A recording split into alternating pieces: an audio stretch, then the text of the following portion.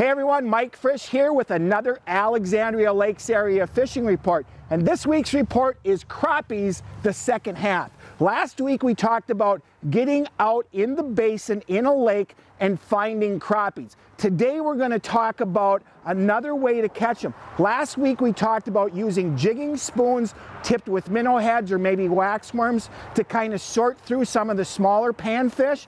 Well, sometimes the bite gets a little bit off. Maybe the peak right at dark bite has passed. There's still fish coming through, but they won't bite. In that case, lots of times, then what I'll do is I'll downsize and go to tungsten to force them to bite.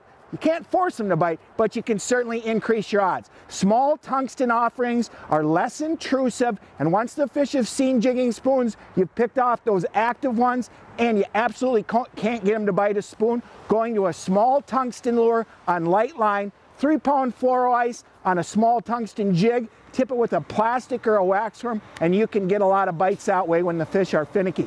I've been using the drop jigs, and if I go with the plastic, I'll use a drop XL. I like white color patterns, pink color patterns, and another thing, lots of days, tip it with a Maki plastic. You don't have to rebait, and the action of that Maki, they'll hit it all day long. So, a jigging spoon and a crappie out in the basin is a winning combination. If they won't hit the spoon, drop the tungsten, it's game on. Again, the Alexandria Lakes area are loaded with crappies. Now's the time. Get out, have some fun, enjoy, and as always, be safe out on the ice.